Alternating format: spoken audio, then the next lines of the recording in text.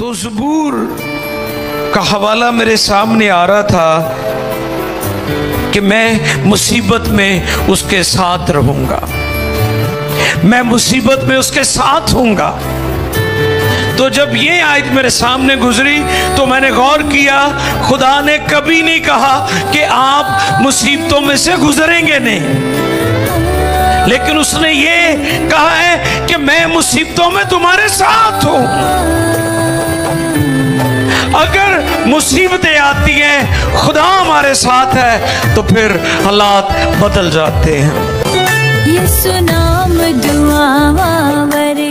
तो जबूर का हवाला मेरे सामने आ रहा था कि मैं मुसीबत में उसके साथ रहूँगा। मैं मुसीबत में उसके साथ हूँगा तो जब ये आयत मेरे सामने गुजरी तो मैंने गौर किया खुदा ने कभी नहीं कहा कि आप मुसीबतों में से गुजरेंगे नहीं।